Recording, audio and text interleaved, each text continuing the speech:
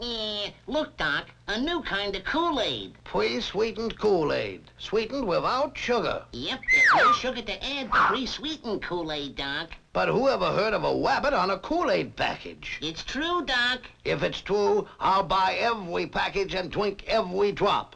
Eh, what's up, Doc? Uh, got any pre-sweetened Kool-Aid with a uh, wabbit on it? Look behind you, Doc. It's true. And you're gonna drink every drop, remember? Hey, pre-sweetened Kool-Aid is really easy to make. There's no sugar to add. Tastes terrific, too. But why is your picture on it, Wabbit? Because you make this new Kool-Aid quick as a bunny. Uh, Bugs Bunny, that is. So now there are two kinds. Famous regular Kool-Aid and try new pre-sweetened Kool-Aid with me, Bugs Bunny, on the package. It's already sweetened without sugar.